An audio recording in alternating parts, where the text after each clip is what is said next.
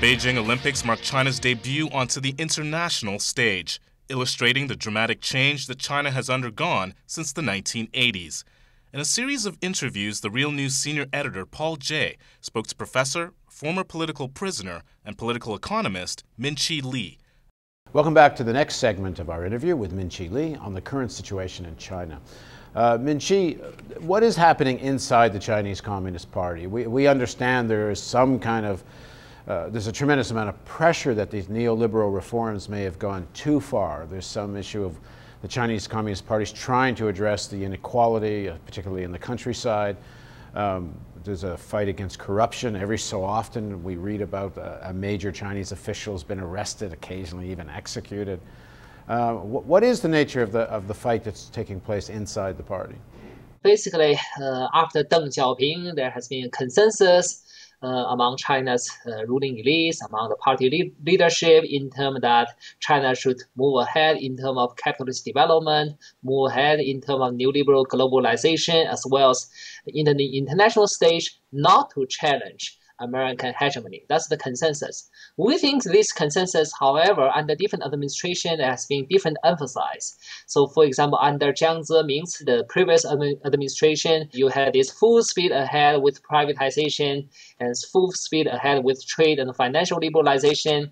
And so by the early 2000s, you have this growing social conflict and also you have very serious uh, environmental degradation within China, growing environmental costs, so when this new administration came to stage under Hu Jintao and uh, Wen Jiabao, you have a change in emphasis. There have been some efforts to address the social conflicts, for example, by removing the taxes on the peasants, by increasing some expenditures on uh, rural healthcare and education, although by no means uh, enough, uh, in my opinion.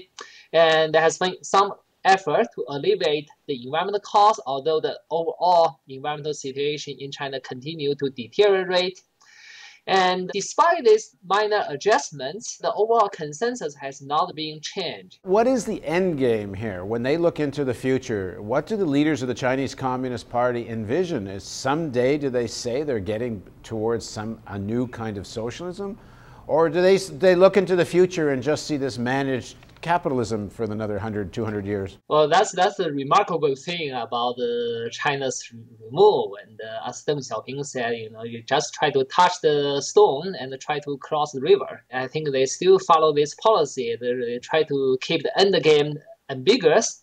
And so that to please everyone as far as the official slogan is concerned, but in fact they are pursuing what they want to pursue.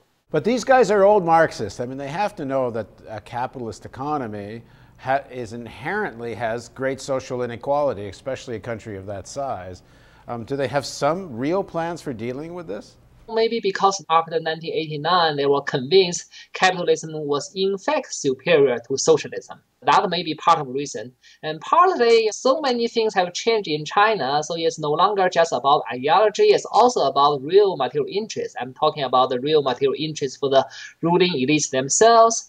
For example, there are rumors that the, the sons and daughters of various leaders of uh, the Chinese Communist Party uh, now run top Chinese businesses, including some financial businesses that are closely associated with the various uh, transnational corporations. There are rumors that uh, the wife of China's Prime Minister Wen Jiabao uh, is in fact uh, the largest jewelry business uh, woman in China.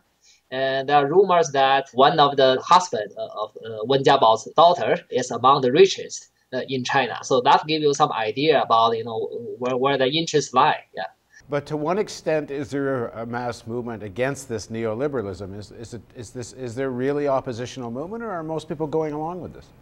Well, you have very many uh, spontaneous mass uh, resistance throughout the country. And some of them are officially reported, some are not. But in terms of the urban workers, you still have lots of resistance movement against the privatization.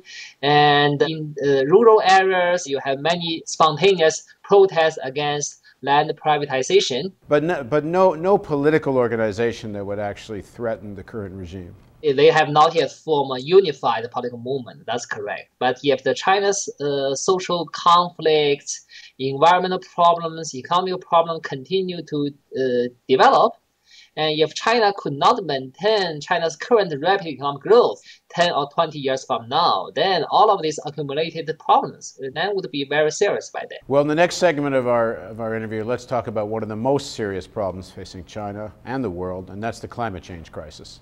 Please join us for the next segment of our interview with Minqi Li.